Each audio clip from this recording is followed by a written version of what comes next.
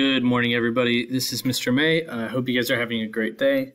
Uh, today, we're going to be introducing uh, Reconstruction, this time period right after the Civil War, where, as you can see on the screen, we are hoping to and wanting to put the country back together again, right? We had just fought this war over slavery, and now we need to kind of figure out okay, how do we unite these two sides back together again um, and continue the United States of America? Um, so the first thing is like we've got a few problems that need to be solved.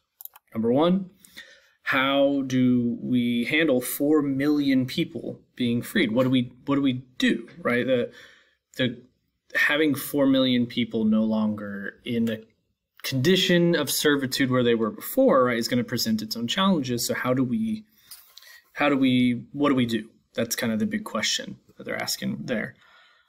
Uh, next, how do we handle these former Confederate states, right? That they said we're not a part of the United States anymore. They've rebelled. How do we do we just let them come back and say don't do it again? What do we do? Uh, next, um, and then who lets those states back? Like, does can the president just say, "All right, you guys can come back now," or is it Congress, right, the group that makes laws? Is, do they have to set the standards? Who sets the standards? Um, so these are the kind of the big problems that they're trying to face. Um, and so big overall goals, right? Number one, reunite the South and the North, right? Have us reunited, rebuild the destroyed areas, and abolish slavery and protect the rights of freedmen. Freedmen is a word we're going to use to uh, refer to um, freed people who used to be enslaved. So freedmen. Okay, so first off, we've had Abraham Lincoln's plan. So Lincoln's plan is called the 10% plan. Um, so essentially, what he said was that anybody who's in one of the rebelling Confederate states can regain their citizenship um, by taking an oath to support the Constitution and the 13th Amendment, uh, except for prominent military and political leaders. So he said, like, the people who are the leadership that you know do that. A lot of a lot of people, a lot of like regular folk, right? You don't really have a you didn't have a choice on what your whole state did, you know. So he was kind of saying like the blame should be put on the prominent political and military figures. So that's where the punishment should be. So that's what he's saying. Like, so any any common regular person can become regain their citizenship as long as they take some kind of oath uh, to support the Constitution and the 13th Amendment. The 13th Amendment is the amendment that abolishes slavery. Okay.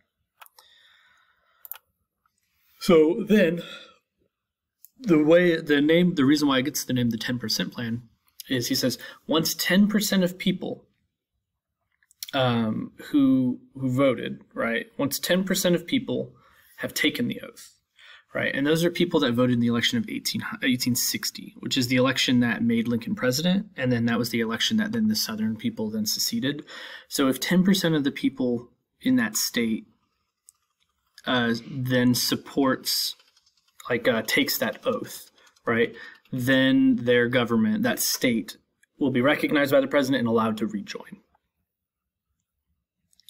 Okay, so that plan immediately we get a few states do that, where a lot of people are like, okay, you guys won here. You we will rejoin. Tennessee, Arkansas, Louisiana. Now, Tennessee and Arkansas were both like basically border close to border states, and remember, like the further away you get from the deep south, the more moderate on the issue of slavery is. Uh, so, um, like more people who are supporting that freedom. So it was very easy to get that 10% for those two. And with Louisiana, um, especially New Orleans, right? Because um, remember, uh, Louisiana was initially a French uh, colony. And uh, so a lot of the people there kind of still identified as being French, and the French didn't support slavery, so or didn't support slavery in the New World, and so they um, like very quickly got that ten percent and were able to join as well. Um, now immediately there's some backlash against Lincoln's plan. Uh, a lot of people thought he was uh, kind of being a little bit easy on them, and also we get the unfortunate, as you, you have learned through history, right? That that uh, Abraham Lincoln gets assassinated. Um, he is, I think. Oh, oh no! I think there's something that we need to see behind this image. Doop doop doo. yeah, there we go. Let me just, there's some pictures of where everything happened, but, um, oh my gosh, this is, just bear with me. I'm so sorry. This is a, this is a mess. Um, yeah, so Abraham Lincoln ends up getting uh, assassinated by again John Wilkes Booth. Um, so John Wilkes Booth was an actor who was like a Southern sympathizer. He wanted the South to have won, and so whenever he finds out that the uh, North wins, he's mad and he puts the entire blame on Abraham Lincoln. And uh, so he goes in and he um, assassinates Abraham Lincoln. And uh, as you can see, like, so Lincoln's plan ends up never being able to continue. And so, like, since he's not president, uh, the the plan kind of changes. Um, and so, whenever a president dies or um, is forced to leave office or willingly leaves office and, and during their term, uh, then the vice president takes over. Now, Abraham Lincoln's vice president was a guy named Andrew Johnson. I'm going to put those pictures back up here you can see. So that's John Wilkes Booth. This is where the theater where he was shot. Uh, and this is Andrew Johnson on the on the right side here. So he was Lincoln's vice president, and uh, he takes over as president. Um, now, his kind of plan was to say, "Hey, everybody in the South, you're cool." And he kind of leads on with the except for if you were one of the leaders like Jefferson Davis or Robert E. Lee, um, or if you are a very wealthy plantation owner. So he's like, so he's also saying like rather than like just the military and political leaders, but also um, you know the people who were profiting most off of slavery, right? So he's saying, hey everybody, you're cool. Um, you're you're okay to rejoin. Unless you're this, then we need to we need to have a further conversation. Um, he also just kind of said he recognizes right the, the same states that uh, Lincoln did, as well as Virginia, that allow, is allowed back into the um, back into the Union. And a lot of people criticize kind of what Johnson does uh, because he was from the South. So even though his plan is kind of similar to the uh, to Lincoln's plan, and let me show you some of the similarities real quick. Right, so he says, "Hey, you guys need to write a new constitution, uh, and you need to elect a new state government." So he's like, "In your last constitution for your state, you had slavery, so you need to change that, and you need to have a new state government because your old state government that you had supported slavery, so we need to revote, especially uh, now when they're going to make the Fourteenth Amendment, Fourteenth and Fifteenth Amendments, which allows African Americans to vote."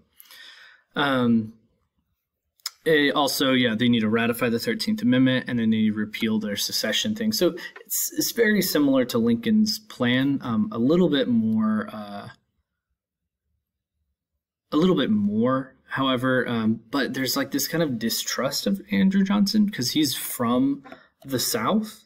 And so just kind of off, off from the start, uh, people are kind of hesitant to uh, support what Andrew Johnson's plan is.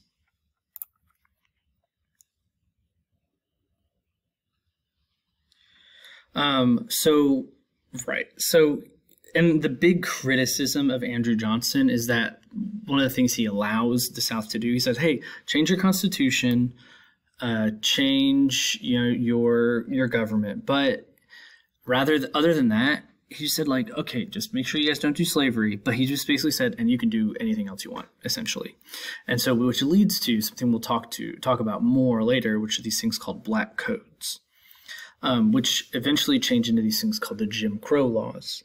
Uh, so you may have heard of, of that, which are essentially laws that that limit the rights of African Americans, um, being able to vote, being able to serve in office, being able to interact in society, um, and so he like allowing that to happen kind of upsets the north as well as like the south is like oh my gosh they're putting so much limitations on us because of the changes to their government and constitutions like that. A lot of people don't like andrew johnson.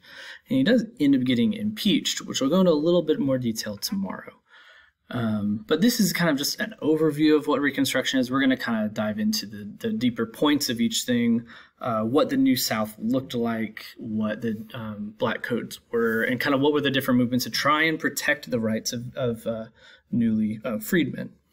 Um, but yeah, so that's that. And if you uh, need anything, please just send me an email and have a great day.